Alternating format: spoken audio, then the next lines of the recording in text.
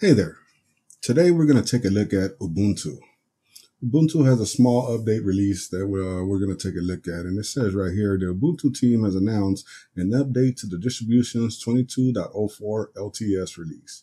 The new update 22.04.4 mostly fixes security bugs and includes a new install image for ARM servers. So I got it loaded up in the virtual machine. So let's head on over and take a look at Ubuntu 22.04.4. And here we are on the uh, virtual machine. So you got two buttons here, try Ubuntu and install Ubuntu. So we're going to go ahead with the install. And English is selected automatically for me. That's correct. If you had another English, you would choose it here.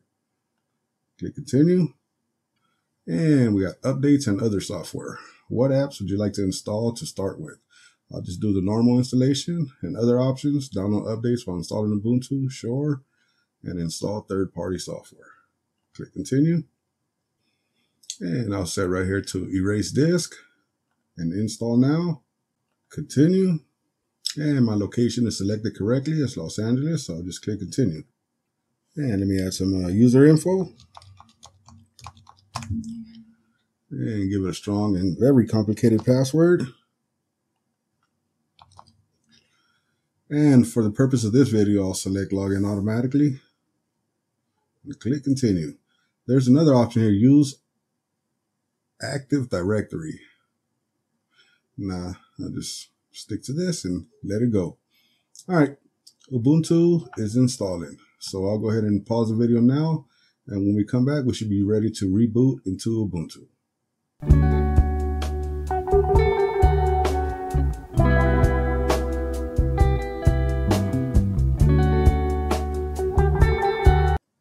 And the installation is complete now, so I'm gonna go ahead and uh, click restart now.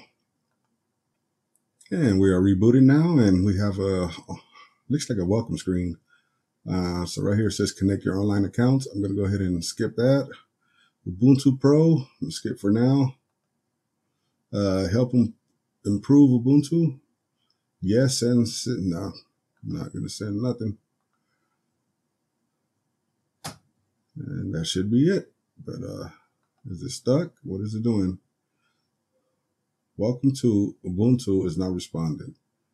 Okay. And we got right here something ready to go. I'll just click on done, let that go. All right. This is Ubuntu. And we have an icon right here. I don't know why. I have no idea why, but it was just right here in the middle. Anyways, we are in Ubuntu, so we have the panel on top, which is the GNOME panel, I believe, or their own Unity panel, or whatever you want to call it, which has the uh, system tray on the right, the single button that has all the options inside of it. And we got a software update now. I'll go ahead and uh, click on Remind Me Later. Like I was saying, the system tray has all of it combined into one, so you get your wire connection, your volume, your settings, lock, and your power options. And in the middle, you got your uh, calendar and event notifications. That's in the middle. And then you have this right here, which says activities. Clicking on that opens up the uh, applications. So you got the launcher right here. And these are the installed applications on the Ubuntu. And that's page one. And this is page two. Then on our side panel, we have our pinned applications. So it looks like we have uh, Firefox, Thunderbird, Files, Rhythmbox, LibreOffice, the Ubuntu software, help, mounted devices, and the trash. So let's open up Firefox, see what Firefox version we're using on Ubuntu 22.04.4. Should be 123, but uh, let's confirm. I've been wrong plenty of times, so uh, it is Ubuntu 123.0. And this is the latest version of Ubuntu. I mean, not Ubuntu, uh, Firefox. All right. And then Thunderbird Mail. It's just a Mozilla mail reader. So you can set up uh set up your emails like Google or you know Yahoo, whatever you use. I'll set it up right here. And let's see if we have an about. It's going to be the same about as on Firefox, I believe, or something similar. And it is Thunderbird 115.6.0. And below that, we have files, which is our file manager. And it's just going to be simply called files. You can change the look of it, get some other options and then we can see the about. And it is files 42.6. And below that, we have Rhythmbox, which is our music player. And Rhythmbox is pretty much standard on Ubuntu. So you got your play queues, music, radio. Uh, you can navigate through songs if you had them on your system, and also categories. So on the about, we got Rhythmbox 3.4.4.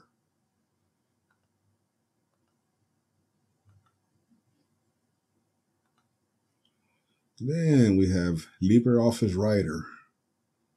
So I wonder if they have the uh, entire uh, suite of uh, Office. But we'll find out right now. So this is Libre Writer, which is opened up right now. But I think if you click on this X right here, it should open up the base, which tells you what all is installed. Like right here, you got Writer, Calc, Impress, Draw, Math Formula. It looks like base is not installed, but all these are because they're they're all highlighted except for base. So let's take a look at the help and the about. And it is LibreOffice 7.3.7.2. And under that we have, uh, well, let me close this first. And under LibreOffice, we have the Ubuntu software. See if it takes a while to open up because I know a lot of times they have to rebuild their cache or since it's the first, t- first time being open, yeah, software catalog is being long downloaded. So yeah, it's just a, uh, it's repos and all that. It's just going through all that in the background. It's kind of like, I guess, if you do a sudo apt update on your terminal, that's pretty much what it's doing in the background. All right, it's opened up now, and you can see we got it's pretty much similar to most of the uh, software stores out there. But you know, being that it's Ubuntu, it's probably a little bit more populated than all of them. And you got a couple tabs up here. This is the Explore tab that we're on right now. But if you click on installed, it'll show you what's installed on your system. And then it also has a tab for updates. So if you wanted to update your system, you can do it right here. And let's take a look, see if we can find the about. There's supposed to be a hamburger menu somewhere right here, but it's nowhere to be found. So uh, I guess we won't be taking a look at that. All right, we'll close that. And then we have the help, which is just a, just a help window. So you want to find out about your system, you can just go through here and see all that you need to see. You got information on your desktop, sound, video, and picture, install and remove software, hardware and drivers, tips and tricks, networking, web and email, file folders and search, user and system settings, accessibility, and you can even get more help. So it's just a standard help menu for uh, it's the standard help menu for GNOME, but Ubuntu has uh, incorporated it. And we have an about? No, but this is probably going to open up a web page. Oh no, it just open up more. I believe the about is on the bottom. If I go back to the previous page and then I go to the bottom, there's the about. So you just click on that and it just, that's it. It doesn't even give you no version info. Well, yeah. Oh, here's the hamburger menu now. Well, no. Thinking about the other app. All right. So if we go back to our applications, let's see, you got your standard uh, GNOME applications. But let's take a look at the system monitor, see how our system is running. Make this bigger. And we can see right here our resources. This is the CPU. So you can see the little graph right here. And then on the memory and swap, that's this graph right here. And for network, the graph is on the bottom right here. So you, you can see they're both uh, populating right now. See, we had a little spike on our network right here, but the CPU is the one that's doing the most work here. And if you want to know your processes that are running, they're all on this tab. So if you needed to shut down something for some reason, you will find it here and then you get the ID number. And about system monitor, system monitor 42.0. So it's kind of like doing H-top on a terminal. All right, let's go back to the application, and see what else we got. See what terminal they're running. I think it's just the uh, GNOME terminal, if I'm not uh, mistaken, but uh, let's confirm that, and it is. GNOME terminal version 3.44.0 for GNOME 42. And do we have NeoFetch or anything like that installed? Let's find out. Nope. How about HTOP? No, they're not installed, but we already saw this resources, but uh, I guess we can do a simple sudo apt install htop and neofetch.